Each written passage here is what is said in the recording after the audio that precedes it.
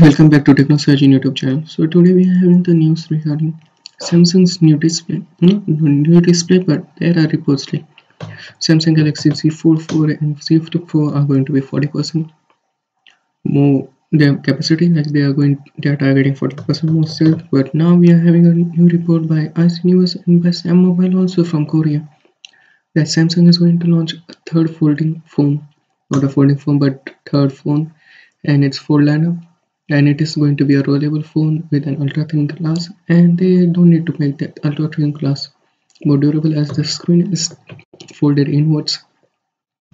So technically it's just a rollable phone and samsung has, has demonstrated it.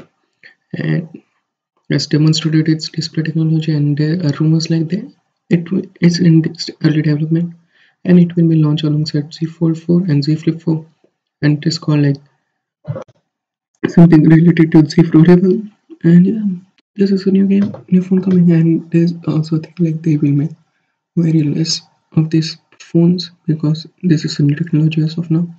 But there's something more to be looking forward to as Samsung is reportedly making a new phone a rollable kind of a phone. And since this and since the display is inside the phone body most of the part then you don't need to you need it to be protected and you can make ultra thin glass more durable.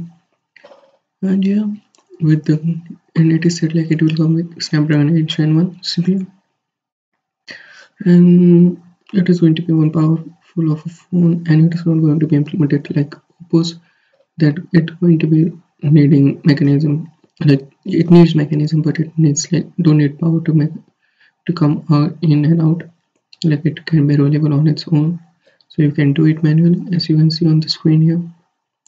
And yeah it looks perfect. Like the samsung implementation is perfect and it just comes out a little bit not like a full fledged phone. And since it's powered with samsung it's snapdragon 8 gen 1 it is going to be one powerhouse of a powerhouse of a phone.